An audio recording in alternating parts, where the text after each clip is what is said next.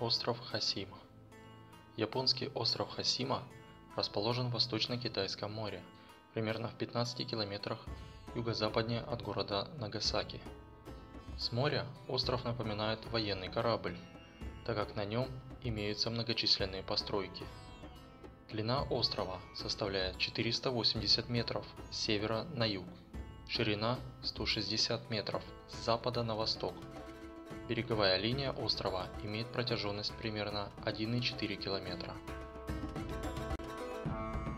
До того, как остров был заселен в начале 19 века, в связи с обнаружением на нем угля, он представлял собой просто обломок скалы, слегка поросший зеленью, на котором гнездились морские птицы и который иногда использовался в качестве временного прибежища рыбаками из Нагасаки и из соседнего острова Такасима.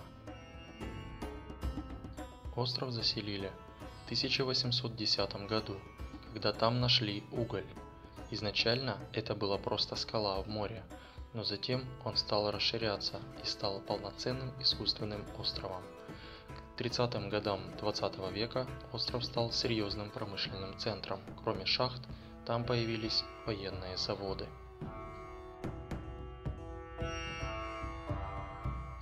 На Хасиме шла добыча угля на шахтах, уходящих на глубину до 600 метров ниже уровня моря. В период с 1943 года по 1945 год для принудительной работы на подводных угольных шахтах Mitsubishi Corporation сюда привозили китайцев и корейцев. Многие из них умерли от тяжелых условий труда. Самые населенные годы в своей истории на острове имелось 30 больших корпусов жилых домов, 25 магазинов, школа, два плавательных бассейна, больницы и кладбище. В течение 50 лет остров являлся одним из самых густонаселенных мест на Земле – 5259 человек на квадратный километр. Через десятилетия Процветающая добыча угля на Хасиме пришла в упадок из-за упавшей цене нефти, и в 1974 году Mitsubishi полностью закрыли шахты на Хасиме, так как богатый угольный пласт был полностью поднят на гора. Последний житель покинул остров в апреле 1974 году. В течение нескольких недель самое густонаселенное когда-либо место на Земле оказалось полностью пустым. Все жители покинули остров ввиду иссякших ископаемых, и город превратился в город-призрак.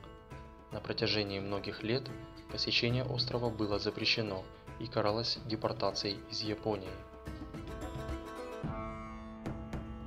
Так, японское правительство попыталось обезопасить остров от черных копателей – Предметы быта из мертвого города становятся объектом охоты богатых коллекционеров.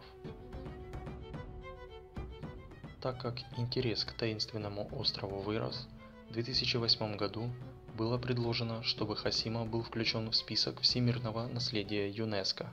В настоящий момент посещение острова разрешено, но доступ к туристам открыт только к специально оборудованной для безопасного пребывания части острова.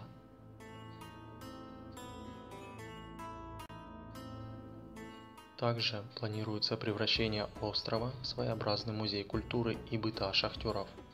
Но так как в настоящее время почти все постройки на острове находятся в аварийном состоянии, для реализации этих планов требуются крупные финансовые вложения.